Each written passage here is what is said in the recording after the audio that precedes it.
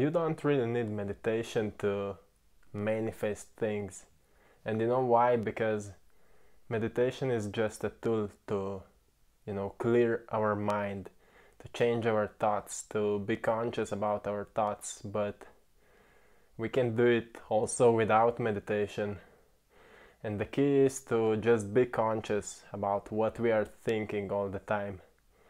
So we don't need to go to meditation zone or the state of clearing our mind to manifest. If we can be conscious about what we are thinking, so every day when we are walking around, when we are doing things, when we are at the job or cleaning the house, for example, if we can be conscious about what we are thinking at that time, we are manifesting. And it's not just my theory, it's the scientists' theory. Because our thoughts are creating feelings and emotions, and that's what is manifesting. So, if you can stay conscious about your thoughts, you will be manifesting your desires.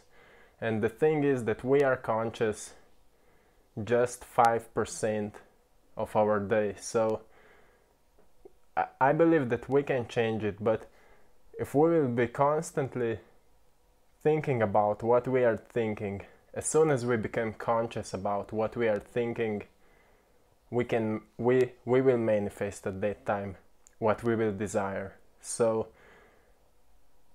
if we want to manifest whatever we want, whatever it is our desire.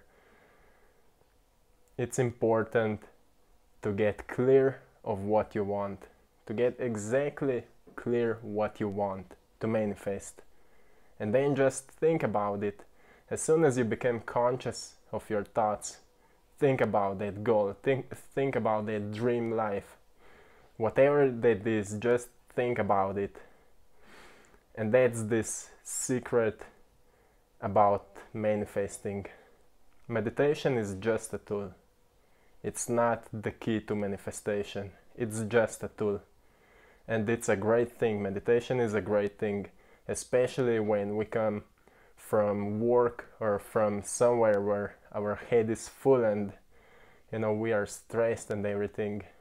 So with meditation we can we can call calm ourselves down and get clear of what we want. But staying conscious is the key. Staying conscious of what we want to achieve of what we want to manifest so this is the message for today to just be conscious of what you are thinking think about what you are thinking and you will manifest with it a lot of great things or everything you want.